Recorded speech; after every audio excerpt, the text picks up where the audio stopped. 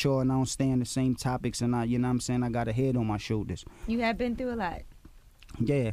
So I said, I love my Lord Savior Jesus Christ with all of my heart. His light shines bright when it seems like life is all in the dark. He make you feel like it's alright when life is falling apart. And he always there to hear me when I call him to talk. He could turn your guilt into grace, your sin into salvation. So be patient when you're going through trials and tribulations. He's the creator of all creations, the ruler of all nations, who was crucified to save us from Satan and damnation. Now, temptation hard to resist. Hypocrites try to mislead you.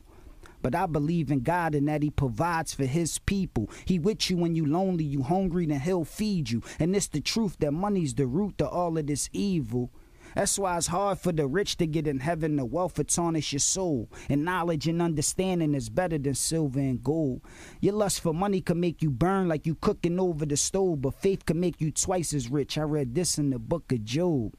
Now, I was told the Bible hard to understand because they wrote it back in the days. But if you pray, you'll be amazed how you comprehend every page. Now, Easter, Christmas, and all the Christian holidays was made to generate paper, not to get a maker his praise.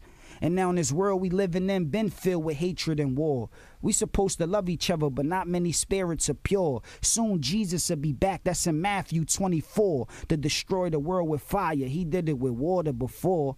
So get on your knees and repent to the King and sing the gospel. If you believe, the blessings you'll receive will probably shock you. You righteous and follow his commandments, they can't stop you. The devil is going to try to knock you, but God got you. From Genesis to Revelations, the Bible was education. I'm dedicating my life to Christ instead of Satan. But instead of waiting till your spirit is levitating, awaken out of that spell, cause hell is devastating. Hey yo, the king been thrown. You sinning your skin and bone, but you ain't gotta swim in the fire and brimstone, cause you ain't in it alone. He's here to protect you, and he never neglects you. He's here to accept you. When wrong, he corrects you and shows you the right path to live like the righteous as long as your life lasts. Cause you should love God more than you like cash, living a fast life or bring an end to your life fast.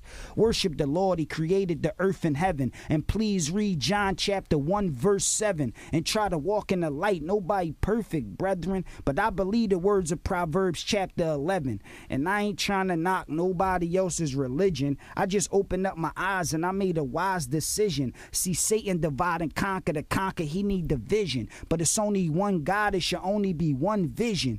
When you walk with God, no strength is lost, so keep walking. When you talk with God, no breath is lost, so keep talking.